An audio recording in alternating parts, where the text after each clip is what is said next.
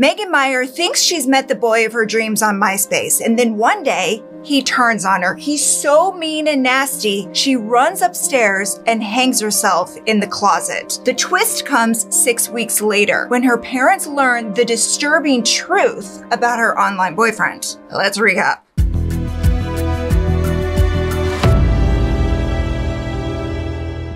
13 year old Megan Meier has just met her dream boy on MySpace. He's a handsome 16 year old named Josh Evans. Now, he and his family have just moved to O'Fallon, Missouri. It's a small city northwest of St. Louis.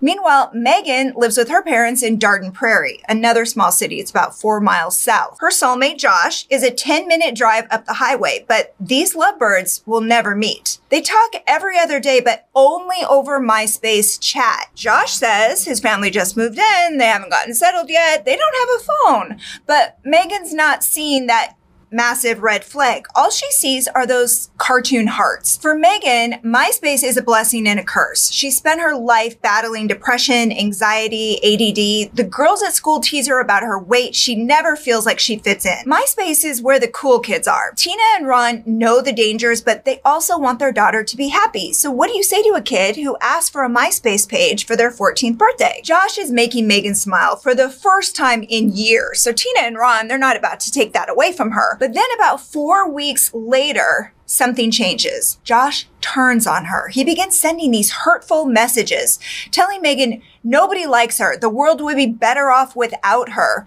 Megan spirals. The one good thing in this world just stabbed her in the back. What else is there to live for? It hurts Tina to see her daughter so upset, so betrayed. She wants to give Megan her space, but an overwhelming feeling of dread suddenly strikes. It's the kind of feeling only a mother gets, the kind of feeling that knows when something is horribly wrong. She lunges up the stairs and bursts into Megan's bedroom. She finds her daughter hanging in her closet with a belt tied around her neck. Megan died with a broken heart, but the person who broke it isn't who they claim to be. See, Josh Evans isn't real. He was conjured by their neighbor, Lori Drew. Now you might think Lori Drew is a student at Megan's school, but you'd be wrong. Lori Drew is the mother of Megan's ex best friend. She wanted to know what Megan was saying about her daughter, so she created Josh Evans to catfish this 13 year old kid.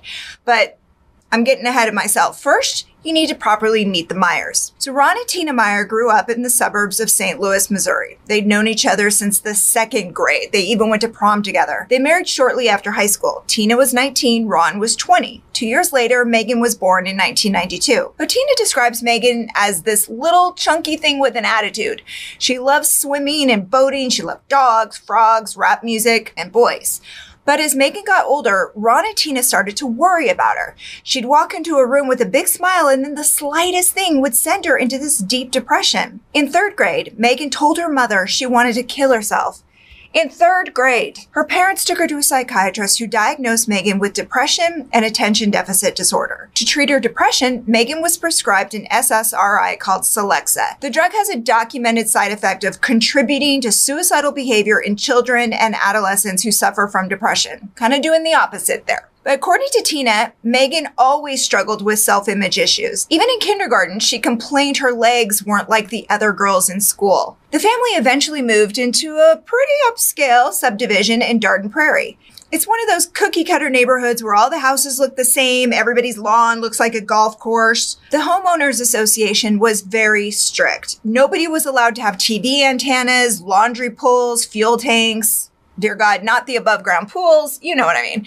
Each home was allowed two pets and fences were frowned on. And that's exactly what the Meiers were looking for. By this point, Tina was selling real estate and Ron was a tool and die maker. They wanted a community that thrived on neighborliness. They wanted that Super Bowl party, the barbecues, the cocktails on the patio. This subdivision, this neighborhood was like that for the most part. And then a bitter rivalry began between the Meier and Drew households.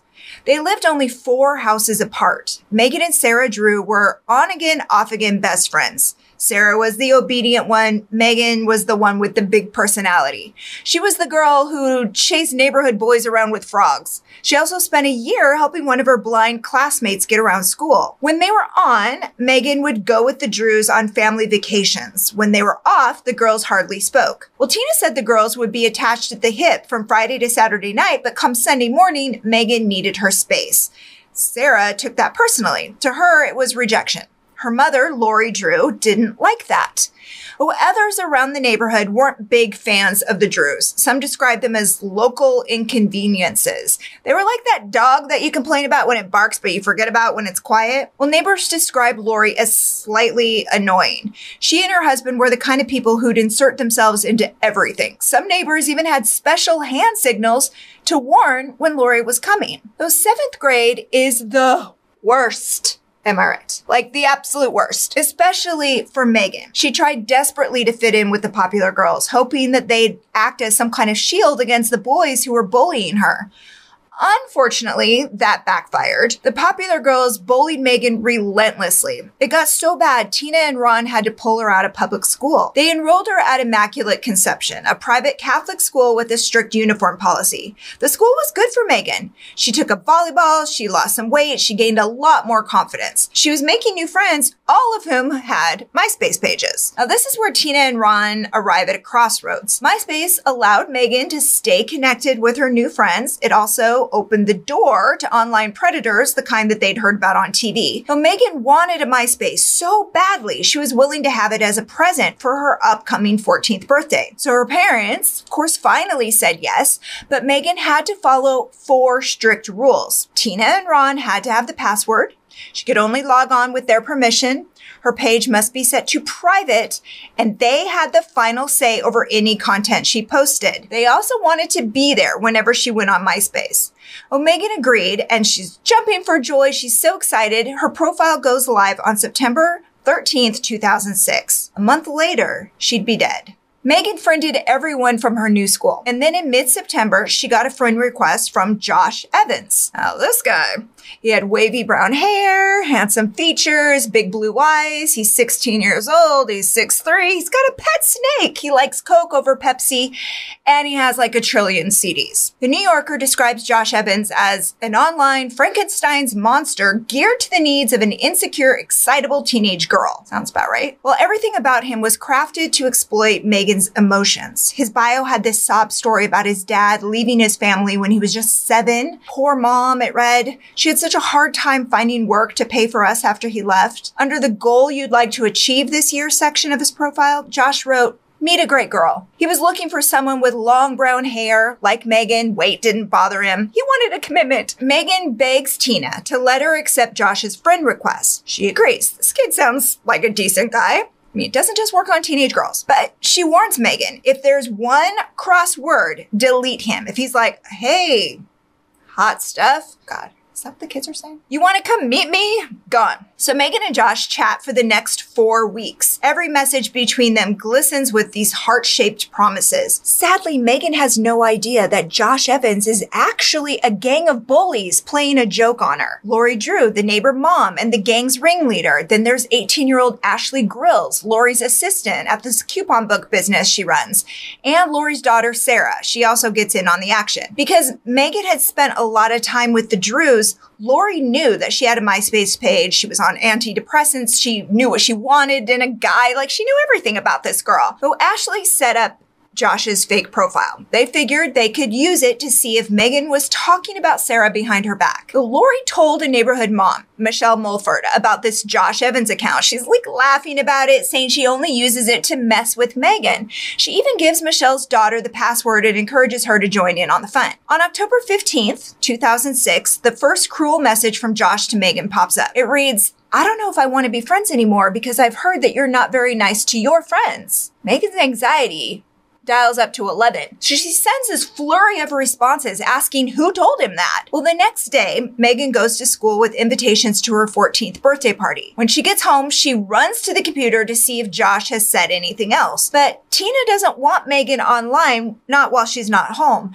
Her father had worked an early shift and he was napping upstairs. Meanwhile, Tina has to take Megan's little sister to the dentist. So she tells Megan, sign off while I'm gone. Megan says she will, but you know she doesn't. So Tina calls from the dentist's office to check on her. She's crying hysterically. Megan admits that she's still online and Josh's friends are mocking her. They're all ganging up on her, posting things like Megan Meier is a slut, Megan Meier is fat. Tina is begging her to get off the computer, but Megan's in too deep, so she starts firing insults back. Josh's final message to Megan is, you're a shitty person and the world would be a better place without you in it. Megan responds, you're the kind of boy a girl would kill herself over. And then she runs up to her room. Well, Ron and Tina are in the kitchen. They're making dinner and they're, you know, talking about how to handle this MySpace thing. And then about 20 minutes later, Tina has this god awful feeling in the pit of her stomach. She stops talking mid sentence and runs upstairs to check on her daughter, but Megan is already dead. Michelle Mulford claims her phone rang as ambulances rush to the Meier home. It's Lori Drew on the other line. She wants to speak with Michelle's daughter. Mrs. Drew said that something happened to Megan and for me to keep my mouth shut about the MySpace page, the girl says. So Lori Drew denies telling the girl to keep quiet. But the Josh Evans MySpace page quickly disappears. Megan's suicide is eating away at Michelle. Six weeks later, she calls Tina and Ron into a meeting mediated by grief counselors. So she delivers the heartbreaking news. Josh Evans was never real. He was a catfish cooked up by Lori and her posse to spy on Megan. But when Tina and Ron get home, they open the garage to see a foosball table that's not theirs. So weeks before Megan's death, they agreed to keep it in their garage for the Drews. It was supposed to be a Christmas gift for the Drew kids. The sight of this giant foosball table they're storing as a favor for these people with what they've just learned sends Tina and Ron into a rage. They grab axes and sledgehammers and they go at the table like wild animals. then they leave the scraps in Lori's yard with a spray painted note reading, Merry Christmas. Well, the Drews call the police to complain about the damaged table, and that's when the cops learn about this Josh Evans hoax. Until then, everyone just assumed that Megan killed herself because her boyfriend broke up with her. True, but not true. According to the police report, Lori didn't feel as guilty about it because while attending Megan's funeral, she learned the girl tried to commit suicide in the past. Yes, Megan had mentioned suicide, but she never tried to kill herself. At this point, the FBI gets involved, but they tell the Meier family not to mention anything about about it to the Drews or anyone else while they investigate. So Ron and Tina keep it quiet for a full year, still living down the street from these people. Unfortunately, the FBI couldn't recover the last message between Josh and Megan. All they had to go off of was what Ron remembered reading. The laws at the time were not written with cyberbullying in mind. Without anything concrete, the FBI decided not to bring charges against Lori Drew at first. She and her family, however, were crucified in the court of public opinion. A local journalist wrote an in-depth piece about Megan's death, and he revealed that Josh Evans wasn't real, but he never named Lori Drew. The article caught fire, as you can imagine. It spread nationwide as parents grew more concerned about websites like MySpace and now Facebook. Lori's name leaked when CNN accidentally broadcasted the police report she filed after the foosball incident. Girl, you should have let it go. Blogs and other publications took it further, publishing her picture, phone number, address, business. She ran this coupon catalog called the Drew Advantage, where local businesses could advertise. Tina allegedly went from shop to shop telling the owners what happened and they shouldn't work with Lori Drew. Oh, people threw rocks at their windows, they shot paintballs at their walls, but the justice system wasn't done with Lori Drew quite yet. The state of Missouri didn't have any legal basis to go after her for contributing to the teenager's death. I don't even think they could go that far legally. So federal prosecutors in California stepped in to use the MySpace rules to get her because they made up a fake Josh account, California, because that's where MySpace is based, in the nation's first cyberbullying trial in 2008. Now, Lori was convicted of violating misdemeanor charges in the Computer Fraud and Abuse Act. However, a federal judge overturned the ruling, saying the act didn't technically cover Lori's behavior as questionable awful as it may have been. And as for Ashley and Sarah, well, Ashley took an immunity deal to testify for the prosecution, and Sarah wasn't charged. On the bright side, Megan's story led to several new laws around cyberbullying. Unfortunately, the aftermath was too painful for her family to handle. Ron and Tina divorced. Both live still with this overwhelming guilt about what happened to their daughter. As Ron sees it, it was Megan's choice to take her own life, but it was like someone handed her a loaded gun. That someone was Josh Evans, aka Lori Drew and her posse. And that's your recap. Thanks for hanging out with us today. If you like getting all the crime in half the time, go ahead and tap that subscribe button and the bell so you never miss a story. We're here Wednesdays, Saturdays, and Sundays, but don't go away. Catch up on more recaps right here, right now. Until next time, take care.